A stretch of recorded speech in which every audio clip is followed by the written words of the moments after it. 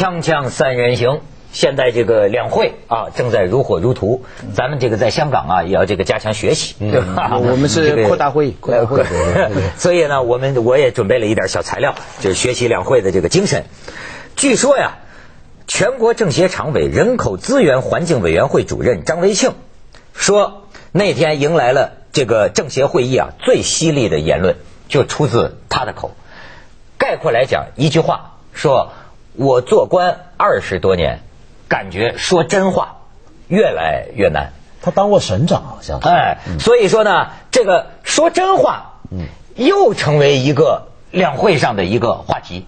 而且呢，他自己讲的这些个，我觉得啊，有你比如说，他说，比如改革收入分配制度，张维庆说，我听这话听了二十年了，每次都差不多，可为什么收入分配的差距还是越拉越大？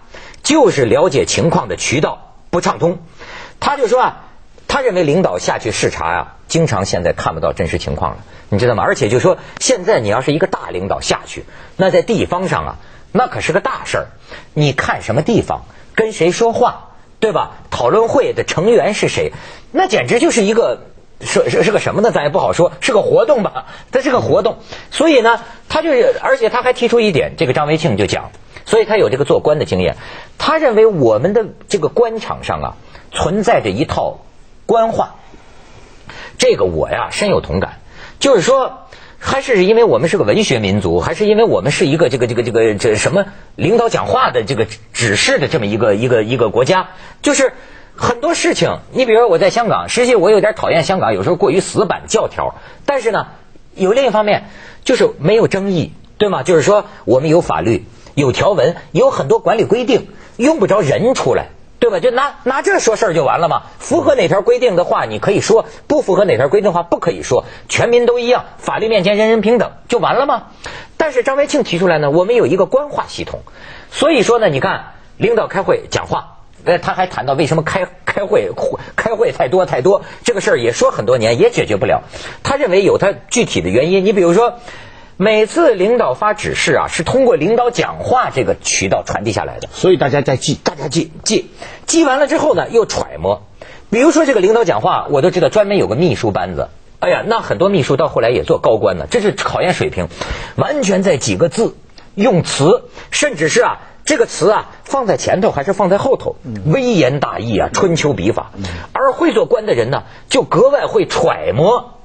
就是他他的意思就是说，为什么每次开完会我们要揣摩领导讲话，到底是什么精神，什么意思？他认为这也是阻挡这个领导了解真实情况的一个障碍，你知道吗？就是为什么不敞开天窗说亮话，这个或者说是明文、明法规，咱就清清楚楚呢？对这个呢，也变成香港每年报道两会的时候最有趣的一点，就每年两会。在开的时候，香港媒体最热衷的话题是什么？就比如说每年我们中央领导人都会对香港说几句话嘛，在两会期间，然后每年大家都要花好几天来猜这到底什么意思？什么叫 深层矛盾？对，深层矛盾什么？什么叫一而不决？而且是不同政治立场的媒体是解释出截然不同的意思出来。没错，就每年猜一回谜。而而而且我可以给你们看看，这个网友现在这个爱聊这个了，是吧？一个说说真话，提出了很多这个问题。我们来看看这个这个这个字字字句，你看。人民论坛的调查显示，百分之七十七点四的受调查者认为说真话很容易受到打击报复。我也是这百分之七十七里边的。然后你看啊，这关于这个中国的统计局二月二十五号，统计局发布的这个称，中国七十个大中城市房屋销售价格上涨百分之才一点五，民众呢普遍质疑，那么这个质疑不断。关于这项新闻的评论很快达到六千条，网友直言说见证了奇迹发生的时刻。你再看下边也很有意思，咱们导演给看一下下一张，就是说统计局的发言人在零九年十二月份表示，CPI 啊，就是这个呃等等等等受这个什么带动，说现在不存在通胀预期，当前价格水准还在低位运行。但是好多论坛上呢，有近八成的网友对不存在通货膨胀的言论表示出强烈质疑。有网友甚至表示，现在通胀已然不是预期，而是真真实实到来了。然后呢，零九年七月二十九号，国家统计局发布啊这个职工的平均工资的资料，说各行业月平均工资都有不同程度上涨吧。不过有网友却称自己的工资是倍增长，跟今年四月统计局公布一季度在岗职工平均工资是一样。不少人对工资统计也提出怀疑。你看，再看下一个，这就是讲的一个，就是网友评论说，统计局就是个计算器，上面想怎么算就怎么摁。然后呢，季羡林老留下来的话，假话全部讲，真话不全讲。不过我想啊，其实刚刚讲这个问题啊，我我真的感觉到，我很认真的说，我真的觉得在过去几年间，呃，关于真话这个问题上面，在现有的制度。比如说，我们温家宝总理不是说要监督政府吗？对，甚至今年的工作报告还说，干脆变成批评政府了。那么我们批评真的是岂敢岂敢啊！这个，你现在说到批评政府了，那么一方面说是这么说，但整个体制，我觉得这个批评监督的渠道，我坦白讲，我觉得在倒退。那但是另一方面是民间的这种监督的欲望。跟潜能越来越大，比如说像网友现在微博的出来，大家这个欲望越来越强，所以我改装一下最近韩寒一个名句，最近韩寒不是说了吗？当前我国主要矛盾是在于少部分官员道德水平的不断低下，与广大人民群众智智商的不断上升。这个我们可以改装一下，就当前的主要矛盾就在于我们部分官场的这个习性越来越封闭，但是大部分的人呢却越来越向往开放。跟有能力开放，所以你比如说像你你说要讲真话，呃，你如果比如说上访或者跟任何原原来的传统的渠道出现不畅通的情况，比如说被解访了被怎么样的时候，那有时候你就要靠舆论，你要靠媒体。说不定有时候很多很高层的官员，他是透过看报纸来了解情况，比他下头递上去的东西更准确。但是问题是，假如你要求所有的传统媒体、报纸、传媒，也都他的主要工作变成是引导舆论。嗯，而不是反映舆论。舆论是什么？舆论是老百姓的声音。嗯，舆论是你不应该老是强调引导他，而是应该让他上来的。你抢他麦克风啊什么？这你还听得到谁说话呢？这个呀，这个最近我的同行啊，也是这个央视的著名主持人崔永元，人家也是全国政协委员呢。嗯，说到政协上，实话实说去了，也引起一些注意。就讲你说的，他就讲啊。说现在这个群众啊，实际是越来越聪明了，尤其是网友越来越聪明。他说：“你比方说呀，你这个温家宝总理讲建保障性住房，说过去比如说两百万套，以后我们要建三百万套，这是实实在在的。他就觉得你有些地方政府，你你说什么呢？比如说说我们要增加百分之，明年我们要建保障性住房，增加百分之一百、百分之二百。他说这个，如果你去年建了一套。”你今年建了三套，也叫百分之二百。就说你这个，你你你你你你蒙不了人呐。这个，而且你就发现嘛，现在有些那种，特别是很低级那些干部啊，真的是把老百姓当傻子。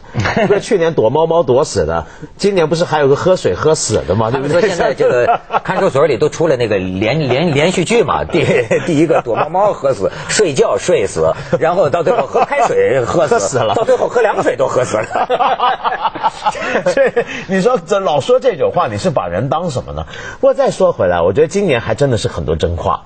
就今年两会啊，真的是响应了号召，而且温主席要批评政府啊，就很多真话都出来了。比如说像我们刚才说的，要要媒体要看好自己的本分，要引引导舆论，这是真话。然后还有什么是真话？我特别注意到，就也是咱同行啊，央视的主持人朱军啊，你听过他那话吗？就说现在有些人就反映说，大学生呢。那么有的大学生啊，已经找不到工作，找到什么工作，跑去掏粪，掏粪。然后朱军呢，在会议上，政协会上说，这这是好事儿啊，大学生掏粪。这我们不应该说是大学生这个呃现在很惨，反而应该说是看到我们掏我国掏粪事业的前景越来越美好了。看到这个 他们大学生的思想水平高，工作能力高，我们掏粪的业务也会好起来。真话真话真话，锵锵三人行，广告之后见。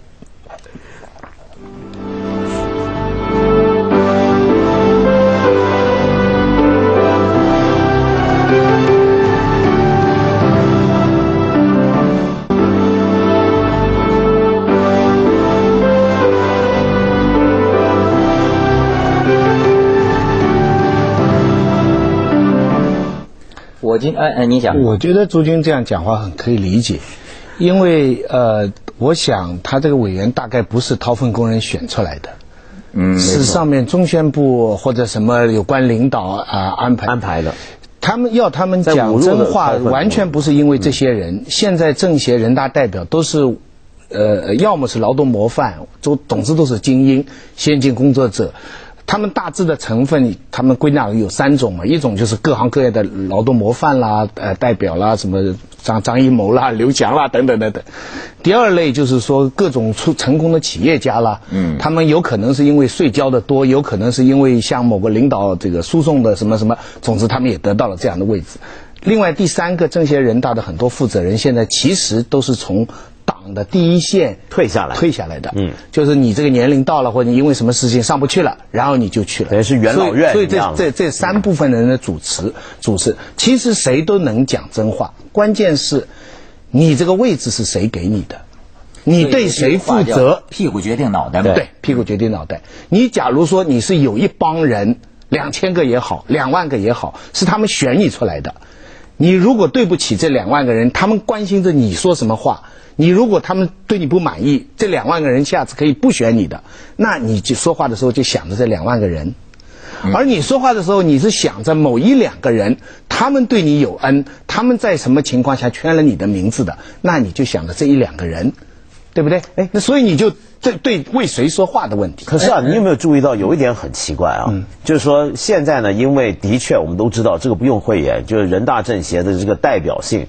是构成的差异非常大，嗯，就有的人你没觉觉得我选过他吗？这人怎么选上来你都不知道，嗯，那这种人呢，他就没没得说了。但是现在最奇妙的是什么？每一届啊，当然大家常常批评一点，就是说我们太多退休的官员跑到人大跟政协去，可是反过来看啊，我们去看，我只是个印象啊，连续好几届，你觉得在政协、人大里面说话说的比较勇敢的？就是退下来的官员，就是退下来官员，哎，他没什么负担了，他已经没什么负担，这很有意思，而且他有不满。对，我跟你讲，这很有意思。你讲的那个是这个有有有有他的道理，但实际上中国人是很复杂的。嗯，甭管他什么原因上来的，嗯，有些呃这个常委，你比如说呃歌星这个韩红，嗯，对吧？参加分组讨论的时候，他就说这个民航飞机延误，他就批判这个问题。就是说，他也他自己啊，也觉得，我现在发现一年比一年呢有进步。就说真话方面，就越来越多的人觉得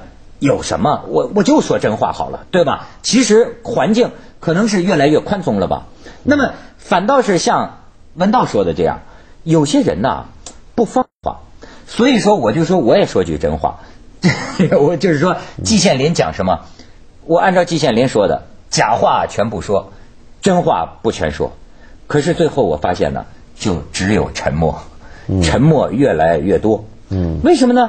我现在讲讲呃呃一个一个问题，好比说我我我是凤凰的，嗯，我经常觉得我有很多真话，我有很多没有说得出来的话，对吗？我经常觉得啊，也有一种伦理，你不要连累别人吧。嗯，哪一种伦理更大，对吗？比如说我的自己是，嗯。我我我可能是个小人物吧，我我我不管什么国家什么什么的，我觉得如果我说这个话是，比如说是徐子东告诉我的，嗯，我跟为了国家我就说把徐子东出卖了，对，这样的事情我做不出来，嗯，对吗？那么就大概就是小人物，我一样啊，你在一个媒体，对吗？你不能连累人家，对不对？所以说百分之七十七的网友为什么说说真话这个有难度呢？就是你知道吗？中国有些这个情况啊，它是阴的。是你看不到的，比如说，我可不可以在这儿批评谁，说谁？可以，我甚至做好了准备，他刀对刀，枪对枪，跟我就我所说的这件事情，我们来对峙，我们来讨论，我们来辩论。可是我知道，很多情况下不是这样的。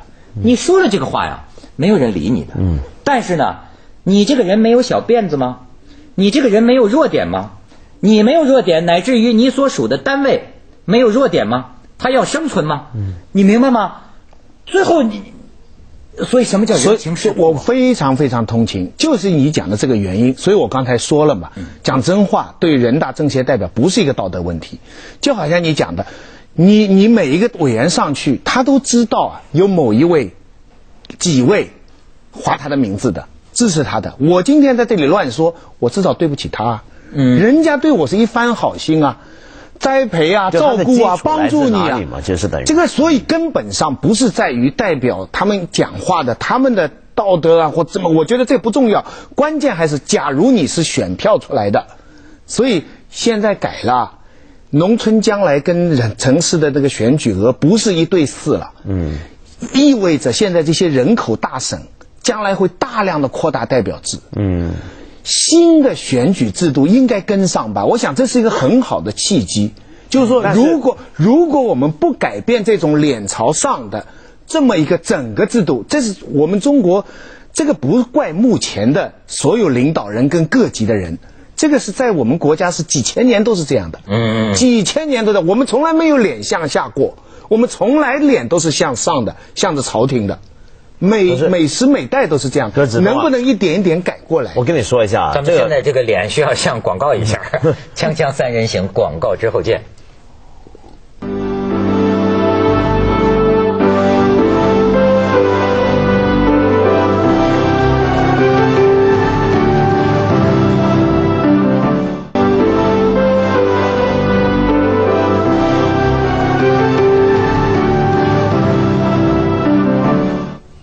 你知道这次这个启动这个关于 说真话这个张维信委员这说真话这个讨论呢，我的第一个联想是什么啊？很你们想不到，很奇怪。我就觉得说，在未来很多年以后，咱们中国的各项这个这个民主自由啊，肯定就跟今天今非昔比了，对吧？那么，呃，有了一天，比如说是彻底的言论自由，我就觉得啊，我第一个想到的就是我要失业了。你明白吗？因为我们这种人，干了十几年媒体的人，我们所有的这个专业，好比说我们的功夫，就在于哪儿啊？这个说话呀，能打这个擦边球吧，又不会出界，又不会惹麻烦，但是又尽量呢能够渗透出一些呃真话的信息。你知道吗？玩的就是这个功夫。但你你别 将来有一天，如果说大家可以随便说话了，我觉得那那那不是啊，你照你这个说法，那美国那些脱口秀怎么办？对不对？他也有所以分寸嗯对，所以我觉得这个还是不要担心，你要有真功夫就不用怕。但是我觉得问题在哪？就现在这一届，你刚刚只都说到那些改革啊，这些都说了好多年，呃，很多委员也都说了好多年，但现在看起来好像没有什么动静。那么今年我听过这两个最具体的改革方案呢，一个是一帮的委员联名提起了一个议案，就是说以后这个投票啊，他们现在投票是按钮的嘛，那个按钮机上头该加个盖子，有点像那个提款机一样，别让人看到投票意向。那是今年我听过最民主的一个改革了。然后呢，可以投弃权票，没人知道。哎、对，然后第二打击报复。就香港有个政协委员呢，还当过人大的，他就反映，他说我在人大开会啊，这我们老鼓掌，政府说的好我们就鼓掌，说来政协这个鼓掌大家不太协调。说这样不太和谐，说能不能够安排一个专门的人引导我们鼓掌，然后这和谐点。这但是个我跟你说，这是跟综艺节目学的。对，以后你做综艺节目操不就得了吗？专门有这帮人。不，以后专门有个机器嘛，哗制造一个其实现在都有，其实现在都有。你听讲话哈，他到时候停顿一下，或者声音提高一下，你们就是不会，说明这些政协委员听得不认真。对，他他不懂，他不懂嘛，这香港人嘛。呃不还有一条有也有一个人问过，就是一个外面完全不知道他，他说他说别的地方呢总有一个投票哈，就是说有比方说两千个人投票吧，总有比方可能是被一千二百赞成，八百反对，或者是几，他说在中国这个从来不会出现那么接近的一种投票的，所有的投票最后都是绝大大比例通过。有如果有百分之十、百分之二十的不赞成啊之类的，有些报告，那就是巨大的事情了。不也也有也出过的。其实八十年代八五年的时候，是你记不记得有省有副省长被人大罢免过？是吗？有，那么大伙怎么都忘了？八零年代很多这种的，然后什么呃人大集体的那时候宝钢吧，好像是河北的，北京那帮有帮人大一起提议案，也是联名一百多个人，那时候很多上海那个时候有副市长是差额选举的。现在的问题啊，我回答文道的问题。现在的问题，我们都是在讲一个前提，就是说我们这个制度需要改革，而是怎么来改革。但其实现在更大的问题是需不需要改革。你知道中国过去的十几年、二十年经济这么奇迹的生长，嗯，全世界都好少有的奇迹。我知道这是中国模式嘛所以现在有这么三种 最基本的看法，已经有争论了。我最近是讲座问一问的，第一种就是海外的那个，就是这个妖魔化的力量，就是说中国这个制度不变，越增长越危险。嗯，第二种说，这个增长制度可以慢慢变，有了这个增长制度慢慢变。但是还有第三种看法说，我们为什么会这么高速增长？就是因为我们这个独特的制度。对，就是因为我们抄报告，就是因为我们我们把整个舆论不是向从下而上的反应，而是从上而下的宣传。那白白猫黑猫抓住老鼠就是好猫。我们经济这么高速成长，我们为什么要改？我们我们正因为我们这个制度才保障了我们的高速成长，我们千载难逢的民族机遇。可是啊我们为什么要改变？所以你我觉得这种话我是最反对的。就是说这一回啊，你说说真话，还真有些真话听。就是昨天吧，好像是体育总局副局长嘛，不就出来说了？你记得周洋？哦而且我们在北京锵锵对的对的还说过，说钟瑶拿了奥运冠军啊，感谢爸妈，说什么将来可以改善他们生活什么嘛。对对对大家不都说好吗？结果呢，昨天呢，我们的体育局副局长也说真话，说这不对啊，说周洋这么说话，说他该先感谢国家。然后后来记者访问他妈，他妈说：“好吧，女儿，以后你就先接下来感谢国家为您播出说说错，这个两会人说错了访谈录，怎么能先感谢国家呢？应该先感谢党吧？啊。